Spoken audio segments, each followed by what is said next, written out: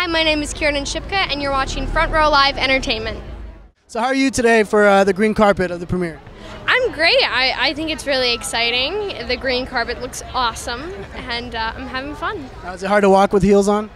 No, because these are pretty. These are pretty short heels. I'd say they're like an inch and a half, two inch. I'm not a big, big heel person. Like I don't think I've ever worn a heel like over three inches. I'm probably probably not allowed. Yeah, I kind of like I kind of like the shorter heels. At least right now, I'm I'm only 12, so heels are a little bit crazy. What brought you to the premiere today?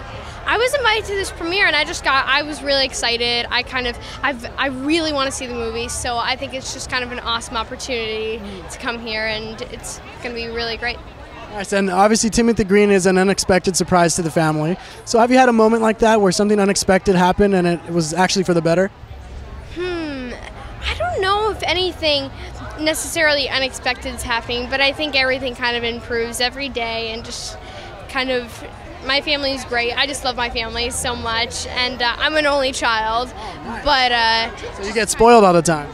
I mean, sometimes, not not really though. My parents don't really spoil me at all, to be honest. I just I consider myself really lucky to be an only child because it kind of it gives me a lot of time to do lots of fun, different activities.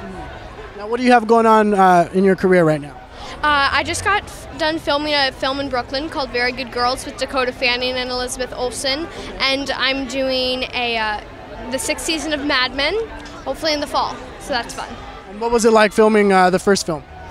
Uh, the first film was really it was an incredible experience to be working with just kind of such an amazing director and just being able to really take notes from Dakota and Lizzie. It's just been it was a really cool experience. And what's your role in in that film? I played Dakota Fanning's sister Ellie in the film, and she's just kind of she's kind of more of a know-it-all, I'd say, on that type of side. She thinks her whole family's crazy, and she's just she's a fun character, though. Now, coming from a, being a single child, how hard was it to to let yourself be okay with having a sister?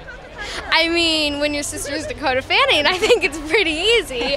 Uh, but no, it was. I'm. I've played sister a couple times, and it's always fun because I I am an only child. Being able to be a sibling is always something that I've wanted. I feel like I kind of get to get to do it sometimes.